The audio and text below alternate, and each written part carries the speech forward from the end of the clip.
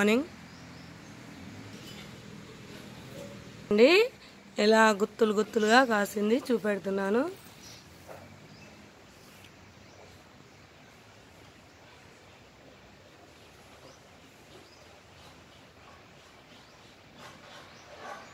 ఎంత దొడ్డుగా గుత్తులు గుత్తులుగా కాసిందో.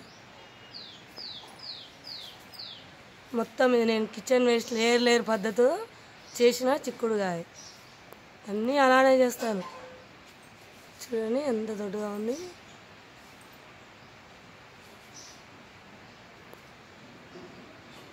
ఇది మీకు చూపెట్టేది వన్ సైడ్ మాత్రమే. ఇంకా చాలా ఉంది మా చిక్కుడు చెట్టు. ఈ మాత్రానికే ఇంత వెళ్ళింది. చూడండి ఎంత గుర్తులుగా ఉందో.